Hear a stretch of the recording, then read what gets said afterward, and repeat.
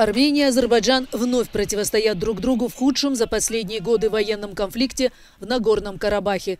Международное сообщество призвало к прекращению огня, но в настоящий момент это кажется маловероятным. Стороны обвиняют друг друга в развязывании насилия.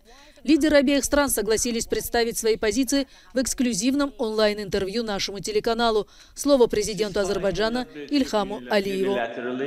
Прекращение огня не может быть достигнуто в одностороннем порядке.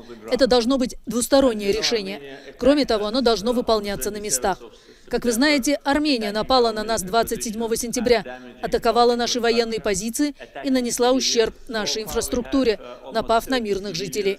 У нас почти 30 мирных жителей погибли в результате нападения армян, в том числе их баллистических ракет и кассетных бомб.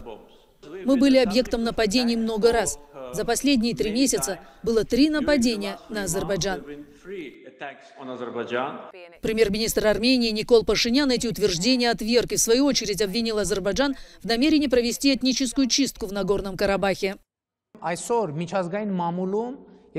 Сегодня в международных средствах массовой информации и среди международного сообщества имеется достаточно информации о том, что Армения и Карабах не могли начать эту войну по той простой причине, что у нас не было военных задач, которые нужно было бы здесь решать. Задача, которую мы должны решить, носит политический характер. Наша цель одна – защитить армянский народ от нового геноцида. Это самооборона.